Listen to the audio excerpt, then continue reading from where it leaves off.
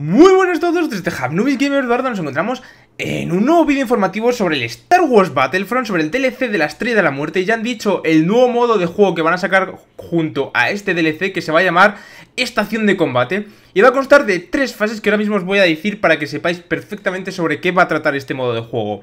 La primera fase va a ser un combate espacial, y sí, estáis oyendo bien, espacial, en el cual los rebeldes tienen que destruir un destructor imperial. Y obviamente los imperiales tienen que intentar evitarlo. Lo que hay que hacer en esta fase básicamente es intentar destruir los máximos cazas posibles. Lo voy a hablar todo el rato desde el modo, desde el punto de vista eh, rebelde.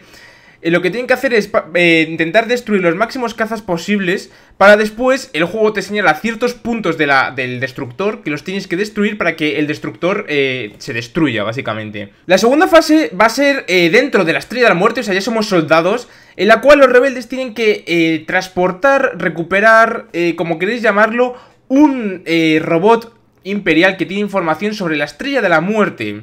Entonces, dentro de esta fase van a estar el villano Bosk, y el héroe Chihuahua. Y por último, en la tercera fase, vamos a estar en otra batalla espacial, pero esta vez en la Estrella de la Muerte. Sí, señor, en la Estrella de la Muerte.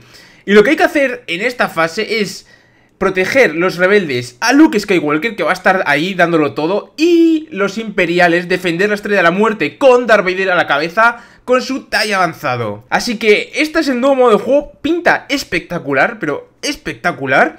Yo tengo muchísimas ganas ya de probarlo.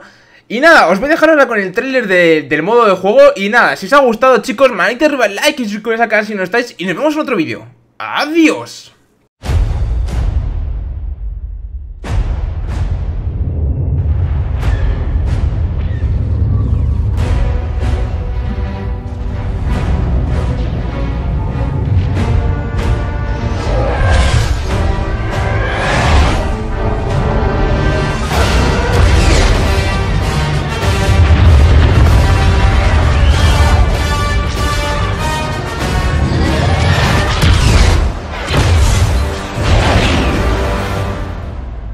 Attack formation.